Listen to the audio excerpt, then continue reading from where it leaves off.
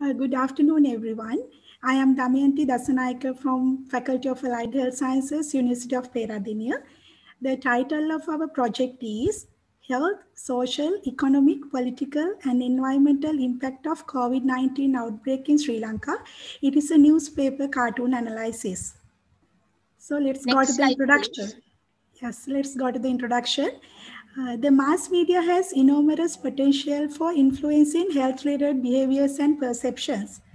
They play a crucial role in response to numerous outbreaks around the world through opening eyes of both public and policymakers. Cartoons are one of the oldest core content of mass media. It consists of representations of verbal expressions as well as non-verbal pictorial to deliver a specific message. World Health Organization declared a new coronavirus outbreak as a public health emergency of international concern. Based on the WHO guidelines, Sri Lanka has taken all public health measures to control disease spread with adaptive strategies. In Sri Lanka, like other mass media events, the COVID-19 is played up in mass media and social networks and built on images.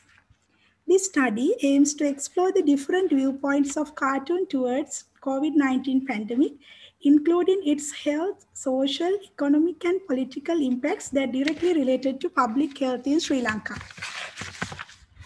The design study design of our study is an exploratory content analysis of newspaper cartoons concerning COVID-19 outbreak. The selection of cartoons.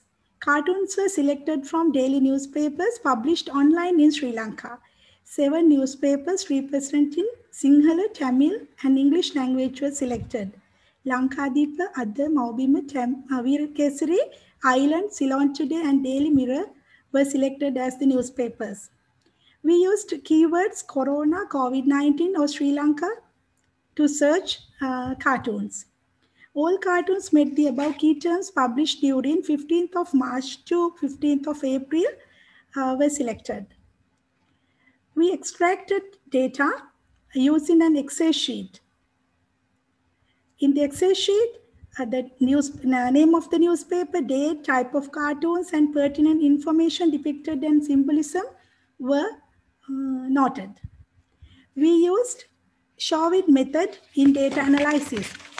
In SHOWED method, uh, we can see uh, five questions mainly. What do you see here? What is really happening here?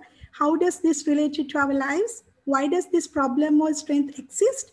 And what can we do about this? So after analyzing each and every cartoons, we could uh, found uh, 51 main themes Based on the similarities and common patterns on the themes, we identified 13 common themes. They are COVID as a pandemic. COVID-19 has become a crisis for Sri Lanka. Prevention is the priority. Knowledge deficit leads to break in health advices. Efforts to control virus outbreak. Shift in socio-cultural practices. Effects of lockdown.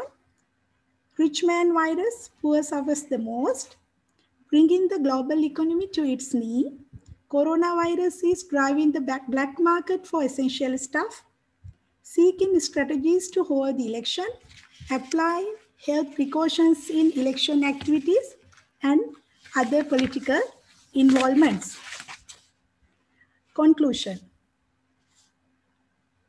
With, by considering all about results of our study, we can conclude that cartoons were effectively used to give broad health and other messages to public during COVID-19 outbreak in Sri Lanka.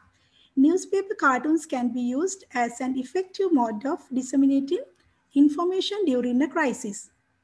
Thank you very much.